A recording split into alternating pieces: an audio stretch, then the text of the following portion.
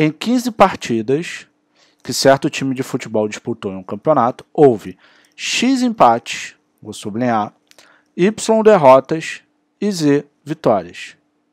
Se X, Y e Z formam nessa ordem uma progressão aritmética de razão 2, opa, já sei o que o problema quer. Quantos jogos esse time venceu? Show? Maravilha. Então vamos lá. Qual é o total de jogos? O total de jogos são 15, tá bom? Deixa eu botar aqui que o total são 15, tá bom? Aí ele diz que ele teve X empate, X empates, Y derrotas e Z vitórias, né? Aí nessa ordem eles formam uma progressão aritmética de razão 2. Então, eu tenho uma PA, que ele foi PA? Progressão aritmética, X, Y e Z. Ok? A razão dessa PA vale 2, vou até botar que o R é 2. Razão, para quem não sabe o que é PA, é aquilo que vai aumentando ou diminuindo. Nesse caso é 2, vai aumentando, tá? Aí ele quer quantos jogos esse time venceu, ou seja, ele quer o valor de Z.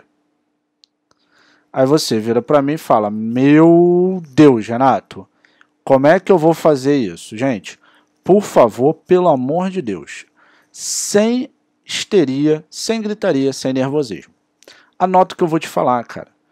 Sempre que você tiver uma PA, vou botar aqui, numa PA, vou falar da de três termos, tá? Isso acontece com termo ímpar, mas vou falar só da de três porque é o, que, é o caso. Numa PA, com três termos,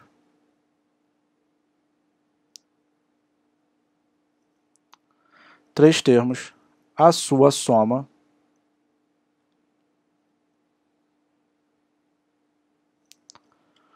é igual ao triplo do meio, termo do meio, tá?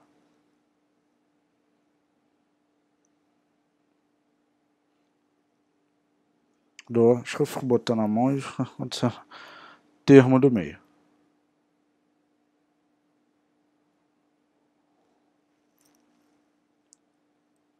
Triplo do termo do meio. Ok?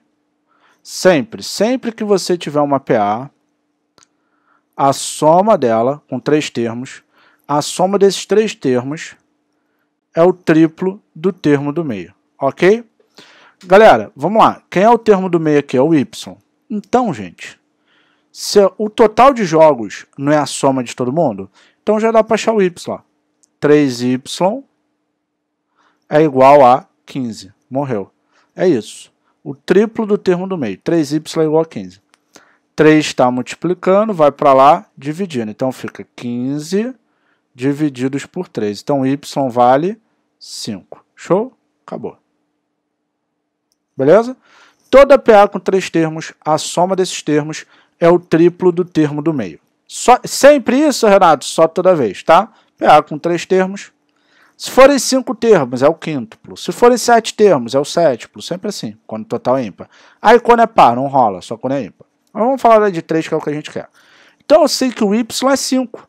Aí eu vou vir para cá, ó. Só alegria, velho. Tô fazendo a questão com isso que eu te ensinei aqui em um segundo. Cara, o y é 5. Você tem que focar em quem você quer. O y é 5, né?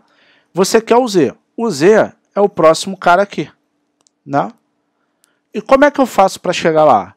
A razão não é 2? Então, para chegar lá, basta eu somar 2. Acabou. 5 mais 2 dá 7. Acabou. Então, qual é o meu gabarito? Letra C. Marca aí o V da vitória, gabarito, letra C.